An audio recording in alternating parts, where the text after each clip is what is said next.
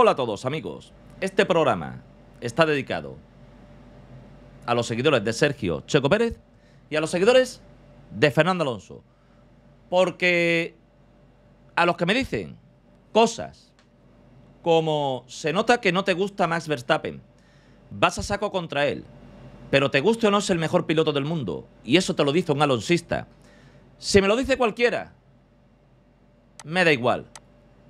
Si me lo dice un, un me duele más. Me resulta lamentable. Y os lo voy a explicar con datos por qué me resulta lamentable. Checo Pérez puede ser víctima de una conspiración. Espero que no sea así. ¿Por qué Ron Dennis hizo todo para que Hamilton ganara Alonso en 2007? Hamilton sale con la hija de uno de los fundadores de McLaren en 2007. Hamilton se divierte con la hija del gran jefe. Max Verstappen, Helmut Marko es como un segundo padre para mí. Verstappen sobre Helmut Marko es como un segundo padre, años después. Cuando han renovado a Helmut Marko, Verstappen es un segundo padre. Verstappen amenaza a Red Bull si despiden a Helmut Marko, al octogenario Helmut Marko. Un ex de McLaren reconoce que Ron Dennis favoreció a Hamilton en su lucha con Alonso en 2007. Alonso y Hungría 2007. Nadie escuchó mi versión. La verdad, ni los hechos. Repito, la verdad, ni los hechos. Y completo, ni la lógica, ni la razón. Que un alonsista, con lo que voy a demostrar ahora, defienda a capa y espada a Verstappen, sabiendo lo que le hicieron a un bicampeón del mundo en su primer año en McLaren, y se crea toda la basura que le dice la televisión, es alucinante. ¿Qué une Alonso con Checo Pérez? Responde Fernando. Nadie nos ha regalado nada. La FIA investiga a McLaren por las presiones de los neumáticos, las de Fernando Alonso, por un sabotaje que le hizo McLaren en 2007, entre los muchos que le hicieron. Sabotaje. Os voy a explicar lo que es un sabotaje, para el que no lo entienda. Sergio Pérez perdió el Gran Premio de Arabia Saudí por un error de Red Bull. 2022, en plena lucha por el Mundial. Pérez pide explicaciones tras las órdenes de equipo en España. Pero Red Bull le hará entender qué tiene que hacer para dejar ganar a Max Verstappen. Repito, no para que Verstappen gane. Para dejar ganar a Max Verstappen. En plena lucha por el Mundial, en su segundo año en Red Bull. Por no gastar más, Red Bull deja a Checo con un piso menos eficiente que el de Verstappen en plena lucha por el Mundial 2022. ¿Quién es Ron Dennis? ¿Qué poder tenía en la empresa? En McLaren en 2007, os lo voy a explicar también. ¿Quién es Helmut Marko? ¿Qué poder tiene en la empresa hasta que ha perdido la guerra de poder interno? Os lo voy a explicar. Y os voy a explicar lo que es sabotaje. Y os voy a explicar quién era Fernando Alonso y quién era Checo Pérez cuando llegaron a Red Bull y a McLaren en 2007. Y después de ver todo este programa, este documental que demuestra el sabotaje al 100% a Sergio Pérez y a Fernando Alonso, os leo lo que le respondí al que me puso esta frase. Ergo a todos los alonsistas que, sin ver ninguno de los datos dicen alegremente que yo soy anti-Verstappen. No, yo no soy anti-Verstappen, muchachos. Yo soy anti-mentiras. Y con el único que me caso es con la verdad. Porque un periodista se casa con la verdad o con lo más cercano a la verdad en base a datos. Y eso es lo que vosotros os merecéis. Si queréis mentira, basura, escondida debajo de la alfombra, seguid viendo la televisión. Lo vemos como gusta, de manera razonada, con datos, con lógica. Bienvenidos a la fórmula de David Perogil.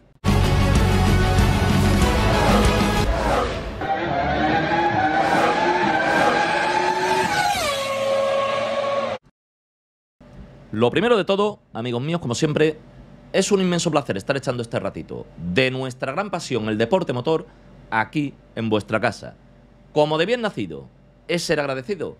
Quiero mandar un fuerte abrazo algunos de los más de 172.000 suscriptores que somos. Le dedico este programa en especial al que me hizo esta aseveración y al final del programa, después de todos los datos que voy a demostrar, os leo lo, que le he contestado. Y se lo digo también a él, claro. De manera educada, como él me lo ha dicho, pero insultando mi labor como periodista. José Ramón, vale. Pues este vídeo, como te prometí, he estado preparando muchas cosas que ya tenía de antes, por supuesto, si no me hubiera llevado mucho más tiempo. Y te voy a explicar las similitudes entre el sabotaje a Sergio Pérez y a Fernando Alonso. Para que veas las posibilidades reales que ha tenido Sergio Pérez de luchar de tú a tú con Verstappen estos últimos años, ¿vale? Sergio Pérez puede ser víctima de una conspiración. Espero que no sea así, ¿vale? Esto dijeron todos los medios después de que Sergio Pérez, en plena lucha por el Mundial en 2023, ¿vale? Marcando sectores morados en Libres 2, de repente al día siguiente tuvieron su vehículo en el garaje en Libres 3 25 minutos y cuando salió tuvo más errores y problemas en unos libres que en toda su carrera deportiva en la Fórmula 1, diciendo por radio que qué le habían hecho al coche, que era inmanejable, que no podía coger dos curvas seguidas. Vale. El de Verstappen, por supuesto, estaba perfecto. Tras esto, no le arreglaron nada y en la cual se salió en la primera curva. Vale. Vale. Y hubo sospechas de mano negra porque esto no se lo quería nadie que tuviera dos dedos de frente. En el 2023. Aquí venimos con todo el tema de la frenada simétrica, pero no voy a hablar de eso. Te voy a hablar de lo que pasó en 2022, donde no existía la frenada simétrica, ¿vale? Donde los vehículos eran iguales y solo podía afectar el balance, el setup de los vehículos. Vale, te lo voy a explicar. Pero antes te voy a explicar algo de Fernando Alonso. Porque si tú me dices lo de Verstappen, me tendrás que reconocer que si un rookie como Hamilton, sin analizar ningún dato como has hecho con Verstappen, empata puntos con Fernando Alonso, bicampeón del mundo, significa que Hamilton es infinitamente mejor que Alonso para ti, que eres alonsista. Porque solo te crees lo que dice la televisión. No te crees el periodismo serio que te habla de datos y que te dice lo que realmente ha pasado por detrás. Si solo te crees lo que dice la televisión, para ti Alonso es un paquete. Porque Hamilton lo destrozó. Porque se te llega un rookie de F2 y en su primer año empata con un bicampeón del mundo a puntos, significa que ni la FIA ha ayudado a Hamilton, que ni el equipo ha ayudado a Hamilton y que no han saboteado a Fernando Alonso. Ergo Hamilton, que es un rookie, es 40 veces mejor que Fernando Alonso según tú, que eres alonsista. Hello, estoy aplicando la misma lógica que tú aplicas con Sergio Pérez con Fernando Alonso. ¿Entiendes lo que digo, no? Vale. Ahora te voy a explicar lo que le pasó a Fernando Alonso. En su primer, en su primer año con un rookie en F2. A un bicampeón del mundo. Te lo recuerdo porque es importante. Y ahora te voy a recordar lo que le pasó a Sergio Pérez en 2022. Tras un año de adaptación, frente a un campeón del mundo ya que era Verstappen, en su, en su segundo año en Red Bull. Un piloto como Checo, que no es campeón del mundo, que venía de haber perdido el asiento y que tuvo que firmar el contrato que quiso Red Bull que firmara porque si no se quedaba fuera de la Fórmula 1. Si, si, de, si de verdad te crees que la posibilidad de lucha dentro de la escudería que tenía un bicampeón del mundo como Alonso es la misma que ha tenido Checo Pérez, háztelo mirar, ¿vale? Esto es un punto de partida que creo que es interesante definir. A pesar de ser bicampeón del mundo, de firmar un contrato favorable, vamos a ver lo que le pasó con Ron Dennis y con la FIA. En el único año que estuvo en McLaren. Porque como era bicampeón del mundo, se pudo alargar a otra escudería el año siguiente. Algo que obviamente Checo no podía hacer. ¿Vale? Empezamos. ¿Por qué Ron Dennis hizo todo para que Hamilton ganara Alonso en 2007? ¿Esto es debatible? Esto no es debatible. Esto es una vergüenza. Esto es un sabotaje pleno y bestial a un bicampeón del mundo en el 2007.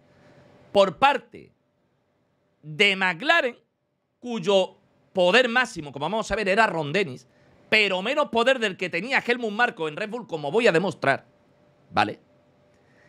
Y donde la FIA ayudó de manera bestial a Hamilton, llegando al punto de máxima vergüenza, de máxima shame de la Fórmula 1, solo igualado con las, las, últimas actuaciones de la FIA con Verstappen, de coger con una grúa el coche de Hamilton, solo el de Hamilton, y ponerlo en pista alucinante. Todavía sigue coleando lo que sucedió en la temporada 2007 de Fórmula 1. El británico, un histórico de las carreras y líder en una de las eras más brillantes de la escudería de Walking, Ron Dennis, eligió al campeón de la GP2, actual Fórmula 2, Lewis Hamilton. Hoy en día, Sir Lewis Hamilton, siete veces campeón del mundo. Como compañero de Alonso, rookie, ¿vale? Como Antonelli con George Russell. De este modo, McLaren dejaba en el banquillo a Pedro de la Rosa, que había completado un parte del 2006 como titular. Y que indudablemente se merecía el asiento, pero prefirieron meter a un rookie. ¿Vale? En vez de a Pedro de la Rosa, que hubiera sido el compañero ideal para Fernando Alonso y sin duda alguna Alonso hubiera ganado varios mundiales con McLaren sin duda alguna. Sin duda alguna. Y el primero seguro al 100% y con una diferencia bestial. Hamilton era una de las mayores promesas del automovilismo. Destinado, sí, el inglés Hamilton era de las mayores promesas. Igual que los Antonelli Birman, sí, grandes promesas. Rom, ahora vamos a ver la realidad de la promesa de Hamilton, ¿vale? Rom había fichado a Lewis cuando este era piloto de karts. Recuerdo, Ron Dennis tenía a Hamilton desde que era piloto de karts, ¿vale? En 1998 y había invertido mucho dinero en su desarrollo como piloto. Manipularon para que Hamilton fuese mejor. No es de extrañar, por tanto, que Hamilton se convirtiera en el ojito derecho de Ron y que éste lo daría todo para que su protegido, el inglés Lewis Hamilton, en la escudería inglesa McLaren, con el dueño todopoderoso Ron Dennis, inglés, hiciera historia conquistando su primer título en su debut en 2007. No fueron pocas las ocasiones en las que durante aquel año se produjo trato de favor hacia Lewis. Así por encima, unas 15. Por encima. Suave. Suave. Flojito, ¿vale? Algún día las pondré todas. Y haré un reportaje más adelante. La ocasión más sonada fue la del Gran Premio de Hungría, donde Alonso tenía una vuelta extra en clasificación. Y el equipo lo intentó sabotear, ¿vale? Sin embargo, McLaren quería que fuese diferente. Claro, quería que de manera artificial, mediante un sabotaje, eh, Hamilton quedara por delante de Alonso. Alonso se paró en boxes, ahora lo explicamos, dejando a Hamilton detrás. Y Dennis acabaría protestando por ello ante la FIA. Te traduzco. El jefe del equipo protesta ante la FIA para que sancionen a uno de sus pilotos, para favorecer a Hamilton quiere que sancionen al bicampeón del mundo de su equipo. ¿Vale? Vale. Vale. Qué bueno Hamilton. Alonso es un paquete. Si ven la tele. Claro. No, quedaron empatados. Quedaron empatados. Pero ¿sabes algo de...? No, no sé nada, me da igual. Alonso es un paquete porque un rookie quedó empatado a él. Pero que no, que no, que no quiero saber nada. No quiero saber la verdad. De lo que se queja el mismo Fernando Alonso. Casi nadie sabe la verdad. Por eso este canal ha crecido un mil por mil más que cualquier otro canal sin ninguna ayuda, en menos tiempo y en la época más complicada. Por eso crecemos juntos. Porque la gente no quiere basura, la gente quiere verdad y datos. Y esto es la punta del iceberg de lo que voy a contar, ¿vale? De Checo y de Alonso. Provocando una sanción a su propio piloto. Le sancionaron. Gracias, Denis. Te queremos. A lo mejor sin esa sanción, Fernando Alonso habría ganado su tercer mundial. Hubo mil cosas más, obviamente. Si la escudería hubiera tratado a los dos por igual y la FIA no hubiera favorecido a Hamilton, Alonso le mete 90 puntos a Hamilton y me quedo corto. Y gana el mundial arrasando. Eso es un sabotaje. De libro, continuado. Con mucho menos poder del que ha tenido Helmut Marko y el clan Verstappen contra Checo Pérez, que además no es bicampeón del mundo y ha firmado un contrato a la baja. ¿Vamos cuadrando el puzzle un poco? Bien, seguimos. Ron Dennis trajo a Lewis cuando era un piloto joven. Dennis dijo, y esto me lo dijo uno de sus ingenieros en aquel momento, esto lo está hablando Chris Casey, uno de los que estuvo de Renault en todo el fregado, ¿vale? Por eso quiso crear un piloto por su cuenta, pagó por su formación y sus carreras en fórmulas inferiores hasta llegar a F1. Quería un piloto que no le costara tanto como, como un piloto como Fernando Alonso, pilotos contratados caros. Y aparte, si encima es inglés y es tu protegido, como vamos a ver, y es el novio de la hija de tu socio mayoritario en McLaren, como vamos a ver, ¡ay! Mejor, ¿verdad? Vale. Al final de aquel año, McLaren no ganó ninguno de los dos títulos en juego. Es decir, que McLaren, gracias a su sabotaje en 2007, consiguió que Fernando Alonso no arrasara a Hamilton. Quedaron empatados a puntos Perdieron el de pilotos y perdieron el de constructores porque la FIA le metió una sanción por espionaje a Ferrari. Se equivocó a la que espiar. Si hubiera espiado a otra escudería no hubiera pasado nada, pero espió a Ferrari, que además tiene derecho de veto en la Fórmula 1. Así que, mal hecho, Denis. Tenías que. El espionaje de ahí salió regulinchi. Hamilton sale con la hija de uno de los fundadores de McLaren.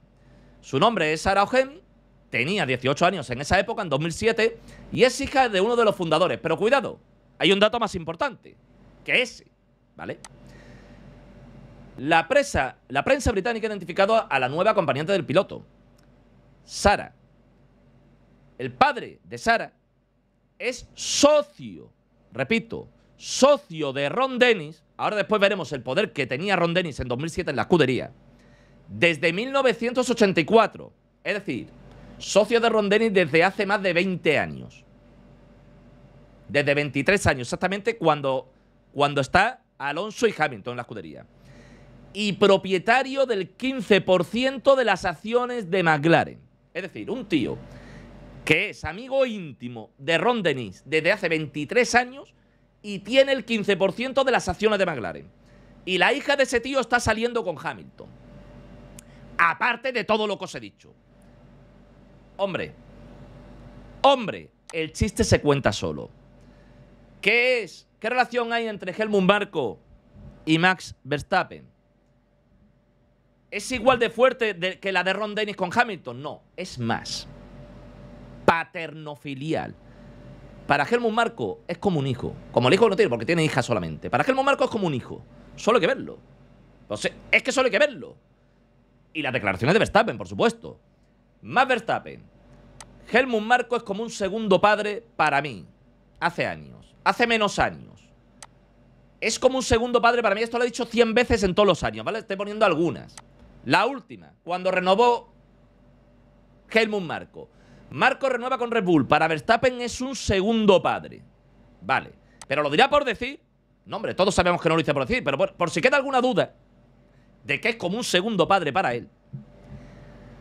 En la guerra de poder interna de inicios de año entre el clan Verstappen y Helmut Marco, que van cogidos de la mano, y Horner, Verstappen amenaza a Red Bull si despiden a Helmut Marco. Es decir, te lo explico. Estando en una escudería que tiene el mejor vehículo, porque en ese momento tenía el mejor vehículo con diferencia, para el 2000, para este 2024, amenaza con largarse si el octogenario Helmut Marco, como él indica, su segundo padre, no está en la escudería. ¿Por qué? ¿Por qué necesita Helmut Marco la escudería? Sigue teniendo todo el poder Helmut Marco todavía.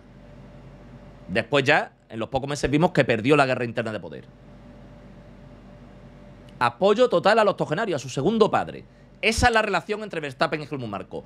Aún más poderosa que la que había entre Ron Dennis y Hamilton, que era bestial, ¿vale?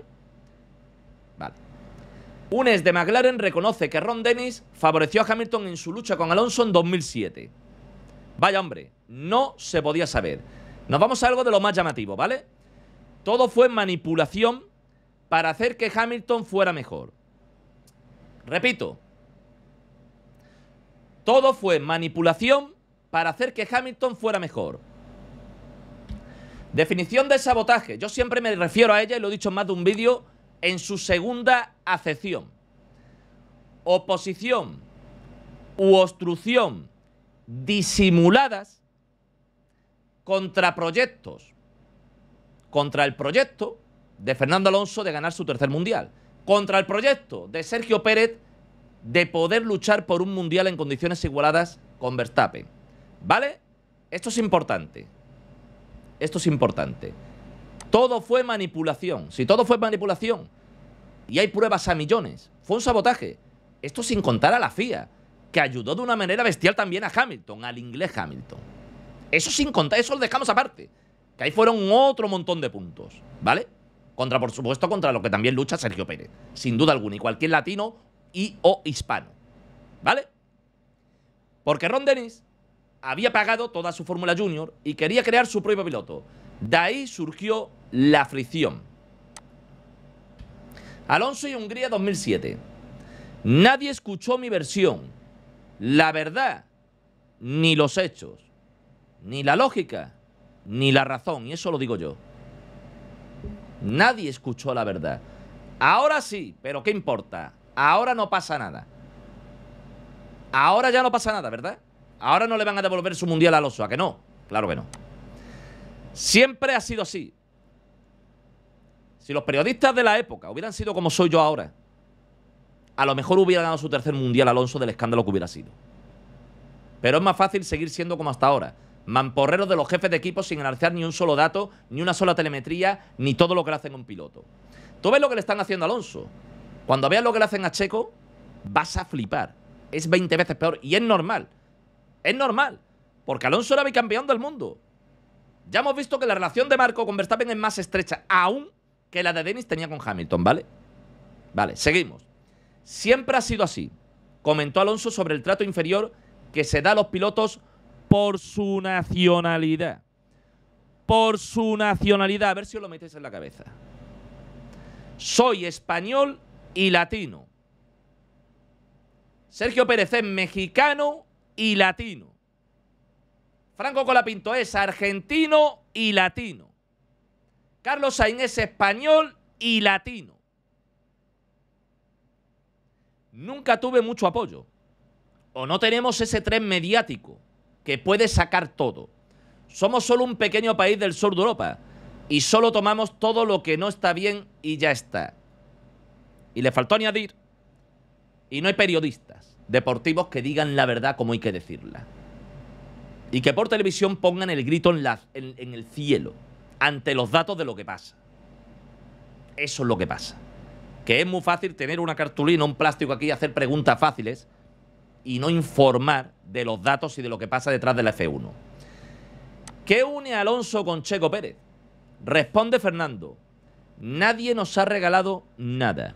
El bicampeón del mundo de Fórmula 1 ha alabado la temporada de Sergio Pérez al frente de Red Bull y ha destacado un handicap con el que ambos cuentan en la categoría, la nacionalidad. ¿Verdad que sí, Helmut Marco? ¿Verdad que tú piensas que los hispanos o latinos somos menos concentrados por raza que un holandés o un alemán, como dijiste en Servus TV, la televisión oficial de Red Bull? Pero ahí sigue, ¿verdad? ¿Habrá alguien concentrado en la FIA que sepa que firmó un código ético de conducta que dice cero tolerancia con los comentarios racistas? No es el único, ¿verdad, Helmut Marco? Han sido seis o siete más contra Sergio Pérez. ¿Te crees que eso influirá un poco, aparte de la reacción que tenga con Verstappen, el que tenga esos pensamientos Helmut Marco? Con todo el poder en la escudería hasta hace cinco o seis meses, como te voy a demostrar. ¿Tendrá algo que ver? No. ¿A qué no? No, hombre, claro. ¿Qué va a tener que ver? Claro que no. Más Verstappen es el mejor del universo, por eso le saca 230 puntos. Claro. Igual que Hamilton de rookie empató con Alonso una temporada con el bicampeón del mundo, claro. Claro. Porque Max Verstappen ahora es el mejor y Hamilton en su primera temporada ya era el mejor, ¿verdad? Claro, claro. Vale, te lo compro. Venga, sí, te lo compro para tirarlo a la basura. Sergio Pérez perdió el Gran Premio de Arabia Saudita por un error de Red Bull. Esto, de por hecho que no lo sabes, ¿no? 2022. Segundo año de Sergio Pérez con Verstappen en Red Bull. Luchando por el Mundial. Sergio Pérez no es bicampeón del mundo. Tiene un contrato firmado a la baja, no. Firmado lo que le dijeran, porque si no estaba fuera de la Fórmula 1. Que se ganó el asiento con actuaciones bestiales en una escudería menor. Racing Point. El mismo Hamilton lo reconoció. Ahora que está Checo no va a ser como con Albon, ahora vamos a ser dos contra dos. Esto me va a poner las cosas cuesta arriba. Tanto fue así que en el primer año fue clave para, para que no ganara su octavo mundial Hamilton. Fue profeta. Curiosamente, ¿verdad? Pues en ese segundo año, a pesar de lo que te voy a contar, tras nueve grandes premios, nueve, segundo año, sin ningún apoyo de la escudería, con un muy mal ingeniero de carrera como era Ubir, con todas las estrategias favoreciendo a Verstappen, estaba a 21 puntos en la lucha por el Mundial, después de nueve grandes premios. Está claro, ¿no? Vale. Sergio Pérez perdió el Gran Premio de Arabia Saudita por un error de Red Bull. Un error que Red Bull jamás en la historia ha cometido. creerse el teatrillo de Ferrari. ¿Qué pasa? ¿Por qué se creyó el teatrillo de Ferrari? Red Bull, te lo voy a explicar. Checo se mantuvo en el liderato todo el primer stint de la carrera, manteniendo la distancia con Leclerc. Pero Red Bull cayó en la celada, cayó en la trampa, en el teatrillo ese, la tontería que hacen los de Ferrari, y paró a Pérez, y Leclerc obviamente no paró. Pero con Pérez sí se creyó el, teatrillo que no se ha creído en la historia Red Bull, se lo creyó con Checo, cuando iba primero para ganar la carrera. Eso le costó la carrera a los de Red Bull. Pero ganó Verstappen. Es decir, Red Bull le roba la carrera a Sergio Pérez. Con un error que no ha cometido nunca. Presión en la rueda, sabotaje. Esta basura, sabotaje. Impedir de manera oculta que un piloto no pueda luchar por sus objetivos. Por el Mundial en este caso. Gran Premio de España. 2022. En plena lucha por el Mundial. Pérez pidió explicaciones tras las órdenes de equipo en España. Normalmente hemos visto alguna orden de radio conflictiva con algún piloto, ¿verdad? Para que gane. Normalmente es cuando quedan 5 o 6 carreras para temporada y uno claramente favorito al mundial. Vale, pues en este caso no. En este caso es al inicio de temporada, en plena lucha por el mundial los dos, Sergio Pérez y Verstappen. Pero no es una radio, que es lo habitual. Son dos. Esto no ha pasado en la historia de la Fórmula 1, excepto con Verstappen y Checo Pérez. Mírate, mírate claro, el problema es que me han obligado a borrar muchos vídeos y los tengo que volver a, poner para que te enteres bien de esto, aún con más datos, con las radios, para que lo escuches, ¿vale? Pero bueno, te explico. Primera radio tiene un error Verstappen. Y Checo se pone por delante de Verstappen. Checo, mil veces mejor posicionado para intentar ganar la carrera. Le obligan a que se deje adelantar por Verstappen. Cuando Checo podría haber ganado la carrera, si no lo obligan. Pues lo obligan. Pero ahora viene lo peor. Ya le han robado la carrera, ya está robada. Segunda radio. Checo, con neumático nuevo y distinta estrategia que Verstappen, sale por detrás de Verstappen. Pero Verstappen tiene por delante a Russell. El problema es que Verstappen no puede adelantar a Russell. Pero Verstappen van con estrategia de neumáticos diferente a Checo. Y le ordenan a Checo que no adelante a Verstappen. Es decir, Checo lo puede adelantar así con neumático fresco a Verstappen y a Russell. Que, claro, lo que pasa es que entonces gana Checo la carrera. Le prohíbe el equipo que, pueda, que adelante a Verstappen para que Checo pierda varias posiciones con una estrategia distinta a Verstappen, pero para que Verstappen pueda ganar la carrera. Es decir, no le vale con una, con una orden de radio. Es tan bueno Checo Pérez en su segundo año en Red Bull que tienen que darle dos para que pueda perder la carrera y para que Verstappen la gane, destrozando totalmente a Checo. Checo pide explicaciones. Porque es tan vergonzoso y tan lamentable y tan asqueroso que, que ya da asco, es vomitivo. Pero Red Bull, bajo la égida de Helmut Marco y su marioneta Christian Horner, que lo ha sido hasta hace cinco meses, Marco movía el calcetín y Horner movía la boca, ¿vale? Hará entender a Sergio Pérez las órdenes de equipo. No nos vamos a disculpar con Checo, la verdad que estado feo. No, no. Le hará entender las órdenes de equipo en plena lucha por el Mundial Checo con Verstappen. Igualadísimos a puntos. A inicio de la temporada. Le hará entender las órdenes de equipo para dejar ganar a más Verstappen. Te explico. Para que Verstappen gane porque es mejor que Checo, no, no. Para dejar ganar a Verstappen aunque sea peor que Checo. De estas miles en los últimos años. Una vergüenza, lo nunca visto en la Fórmula 1. Por no gastar más. Tras nueve grandes premios, como te digo, en 2022, el mismo año, no nos vamos a ir más lejos, ¿vale?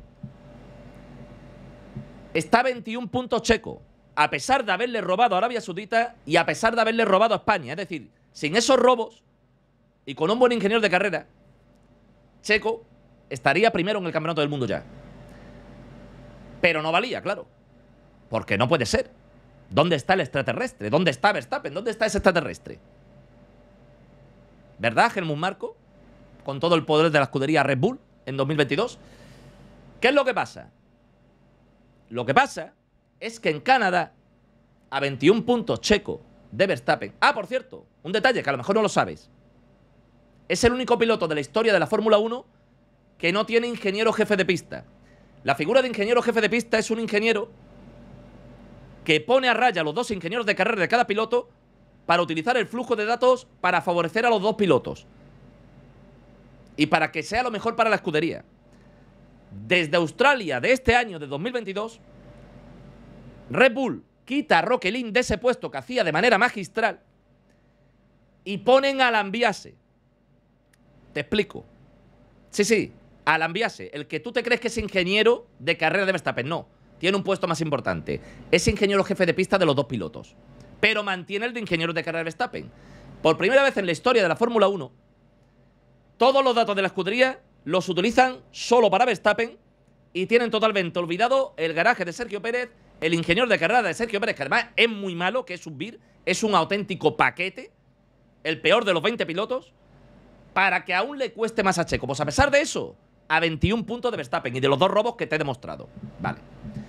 ¿Qué pasa? Dice, hombre, pues como siga así, todavía es capaz de ganar el Mundial. Gana Mónaco. Y dice John Verstappen que eso es tirar 10 puntos a la basura en plena lucha por el Mundial, los dos igualados, ¿vale? Y que eso no puede ser. Hay una reunión y en Canadá, en el décimo Gran Premio, Red Bull tiene a bien, sabiendo que puede romper la caja de cambio de Sergio Pérez, presiones de los neumáticos, demostrado, que se demostró que habían cambiado las presiones de los neumáticos de Fernando Alonso poniéndolas en vez de a 100, a 700 para que patinara el coche. Sabotaje, ¿vale? Ese es de, de, algunos de los que nos enteramos. Vete a tú saber de lo que no nos enteramos. Para que Hamilton igualara a Fernando Alonso en su primera temporada. Con el nivel que todos sabemos que tiene Fernando Alonso. Vale. Pues sigo. En Canadá tienen una caja de cambio que tiene muchos grandes premios, checo, y saben que puede romper porque está al final de su vida útil. Tienen caja de cambio nuevas. Se la pueden cambiar sin penalización, porque ese año no había penalización. Y no se la cambian. Le dejan la que saben que puede romper. Y rompe. Vaya. Gana Verstappen, Checo último. Cero puntos. Rompe, rompió su caja de cambio. Que la escudería sabía que podía romper. Sabotaje. ¿Para qué? Para que no pueda luchar por el Mundial con Verstappen en su segundo año. Alonso, bicampeón del mundo. Checo, Contrato a la baja desesperado porque se quedaba fuera de la Fórmula 1. Con lo que quisieran. Ahora vemos el poder de Denis y el de Helmut Marco. Para que veas que yo no hablo por hablar. Que yo hablo con datos. ¿Vale? Seguimos. No contentos con esos 25 puntos de ventaja gratis que le dan a Verstappen. En cuatro grandes premios del 22 le ponen a Checo un piso de auto menos eficiente. Por si no lo sabes, el suelo del automóvil de la era actual de Fórmula 1 es el 70% de la eficiencia de un Fórmula 1. Pues le ponen uno menos eficiente. Para que no pueda luchar con Verstappen. Ahí Verstappen lo gana todo y Checo ya es el segundo, el tercero, el cuarto coche a tropecientos segundos de Verstappen. Y lo tiene que reconocer la escudería porque le pillan con el carrito del helado. Cuatro grandes premios. En Singapur le ponen el mismo que Verstappen y gana Singapur, Checo Pérez. A pesar de todo lo que te he dicho que lleva en contra.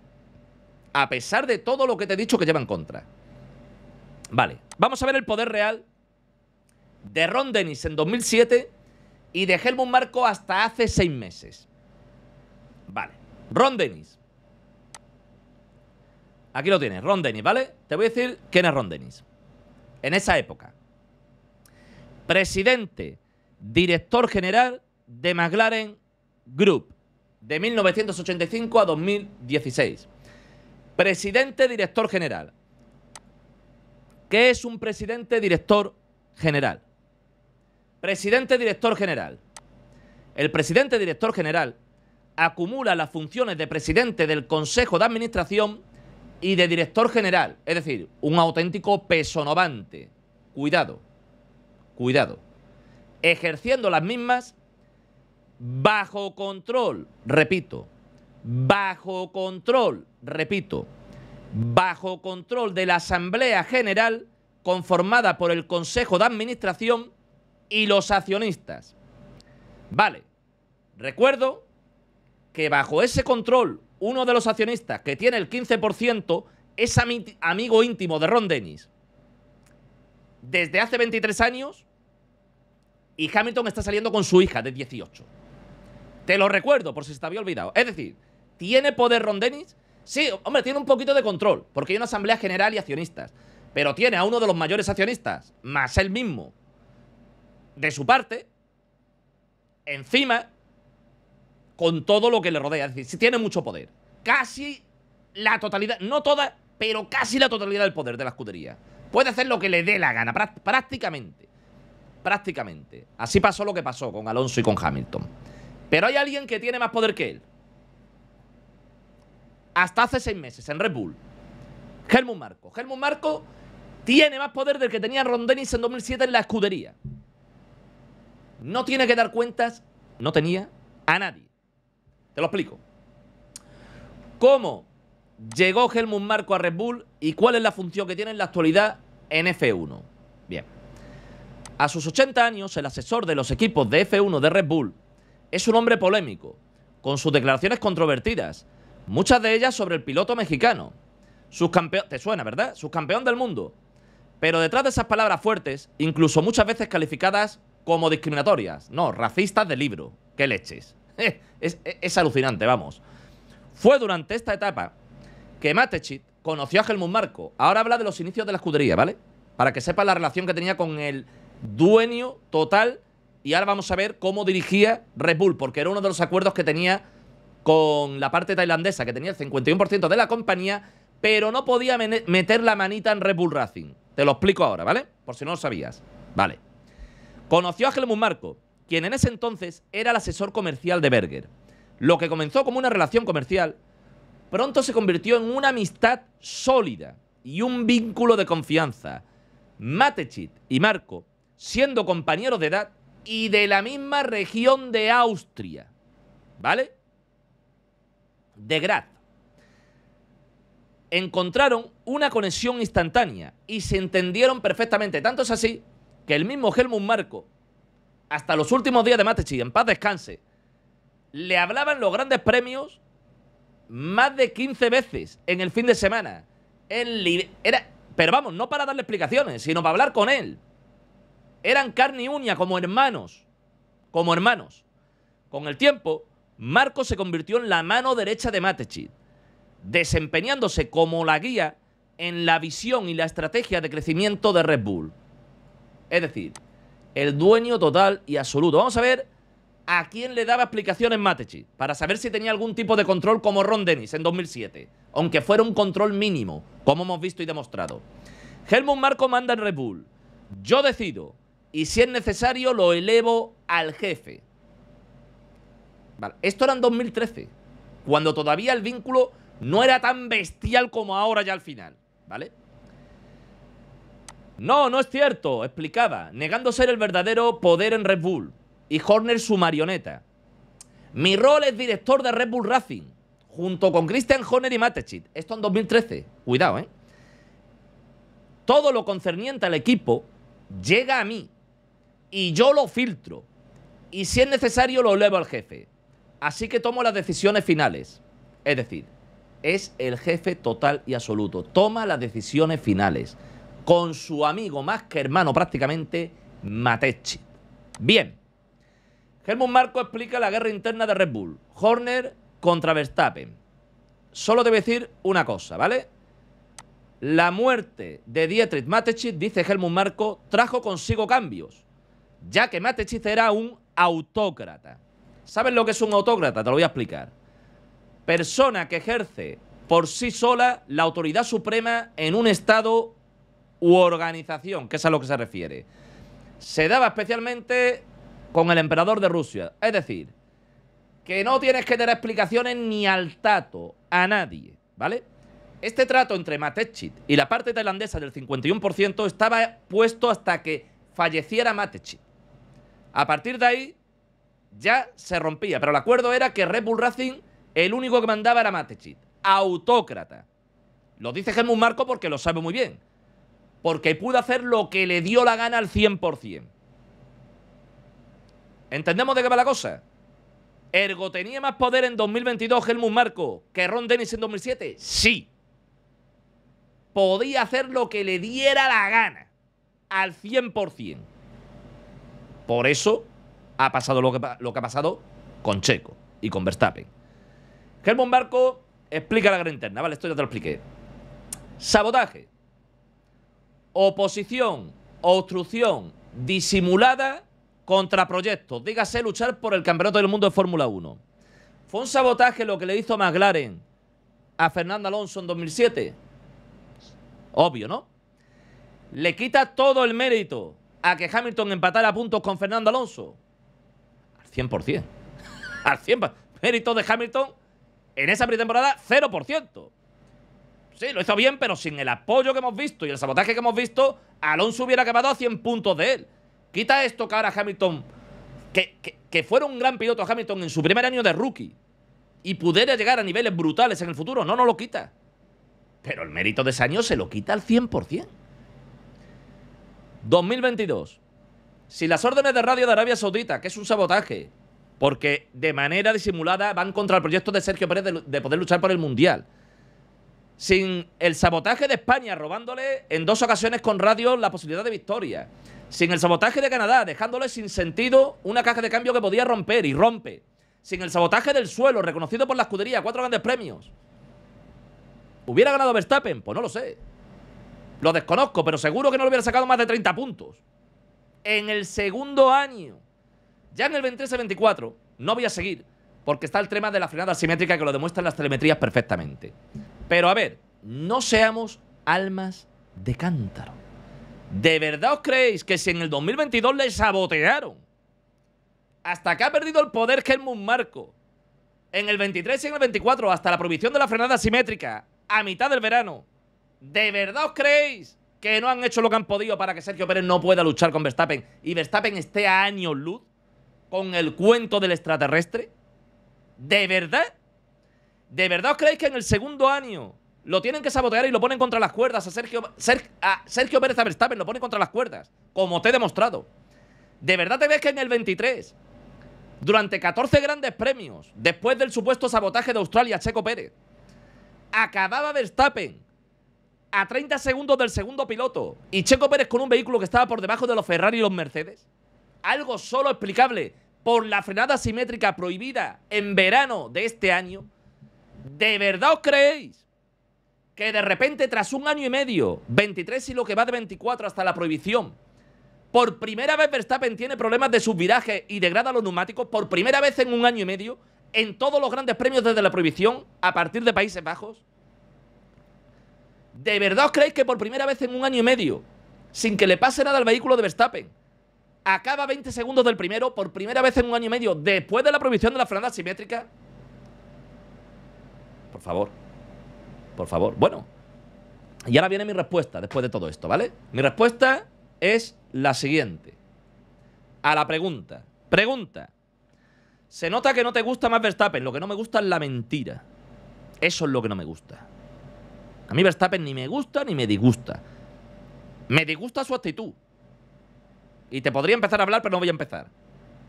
Como que engaña al equipo para robar el punto de la vuelta rápido en Arabia Saudita para no perder la primera posición en el Mundial que la tenía Checo Pérez.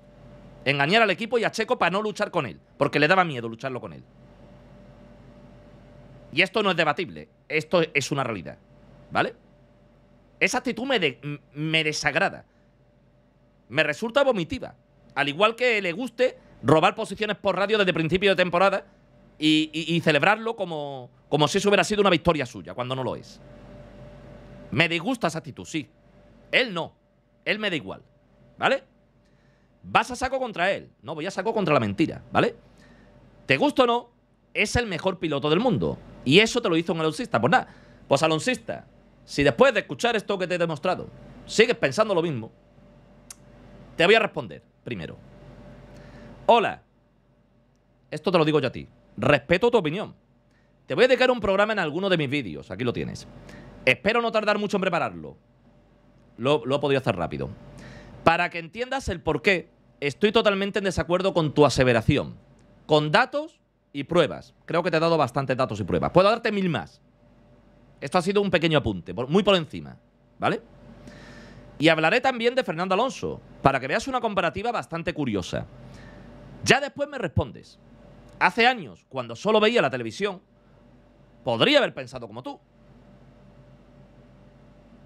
Pero ahora que soy un experto en Fórmula 1, que le dedico desde hace más de dos años 12 horas, de 8 a 12 horas de, de mi vida sin haberme saltado ni un solo día,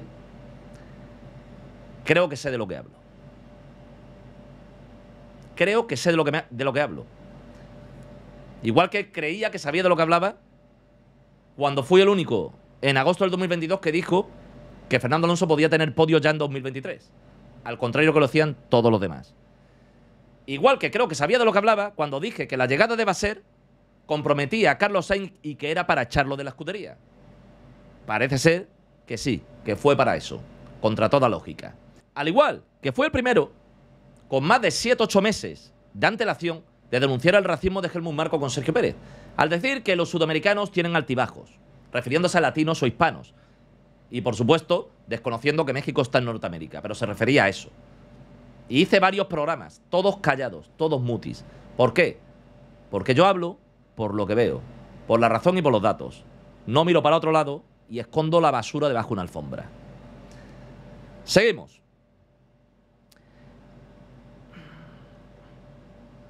Y hablaré también de Fernando Alonso, para que veas una comparativa bastante curiosa. Ya después me respondes. Vale.